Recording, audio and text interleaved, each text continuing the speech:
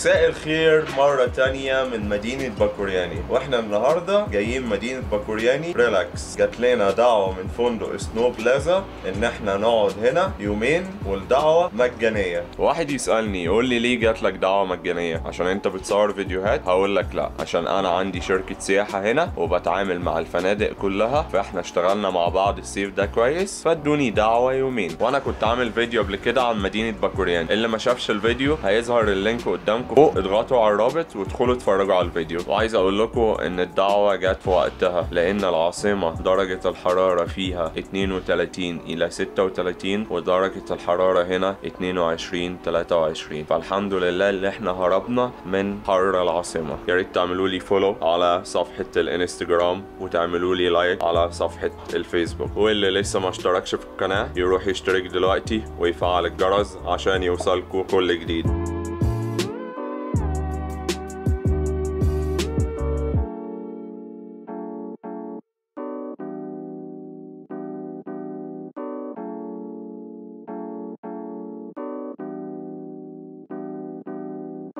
وفي برضو ترابيزات بلياردو هنا للي يحب يلعب.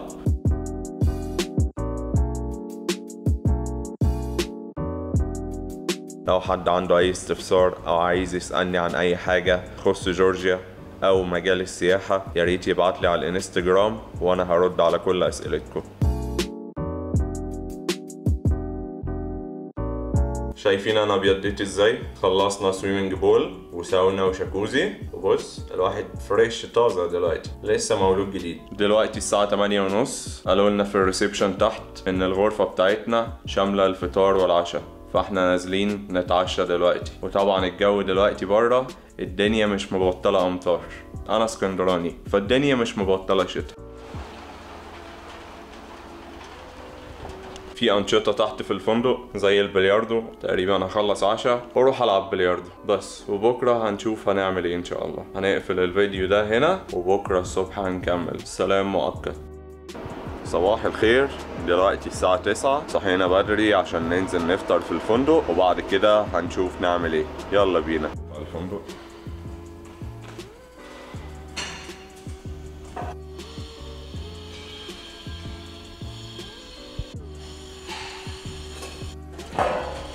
هنا بيض في هنا سوسيس وحاجة زي جلاش وبيض وسوسيس. عارف دي بقى شوربة. وده خيار وطماطم وجبنة. بوفي محترم الصراحة.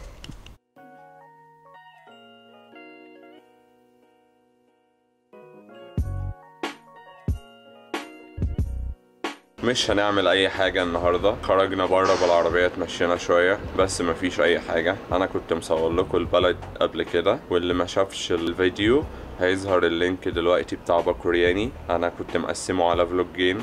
هيظهر ال link دلوقتي اتفرجوا عليه. ونتكلم بقى في موضوع النهارده. في سؤال اتسألني واتبعت لي على الانستجرام وكان في حد بيقول لي هل جورجيا حلوة وتستحق الزيارة ولا لأ؟ أنا هجاوب على السؤال ده النهارده وده موضوع الفيديو. في link هيظهر لفيديو دلوقتي أنا مصوره في جورجيا بالدرون. في معظم الأماكن السياحية في جورجيا. اضغطوا على ال link وشوفوا الفيديو. جورجيا دلوقتي واحدة من أقوى الدول السياحية على مستوى العالم وده بيرجع لحاجات كتيرة جدا. تعدد المدن السياحية والأنشطة التي تخص السياح. وكل مدينة بتختلف عن المدينة الأخرى من حيث الأنشطة والمناظر الطبيعية والجبال. وفي فيديو أنا بحضر له دلوقتي عن إن جورجيا فيها أكبر عدد تلفريك على مستوى العالم. انتظروا الفيديو. نرجع لموضوعنا. ده غير إن في مدن تنفع للسياحة الصيفية ومدن تنفع للسياحة الشتوية. وكمان البلد هنا مش غالية ودي حاجة كويسة بيدور عليها السائح. وهيكون في فيديوهات عن أسعار المعيشة في جورجيا وأسعار الأكل والشرب والمواصلات. وإن شاء الله قريب هنغطي كل حاجة في جورجيا من خلال الفيديوهات.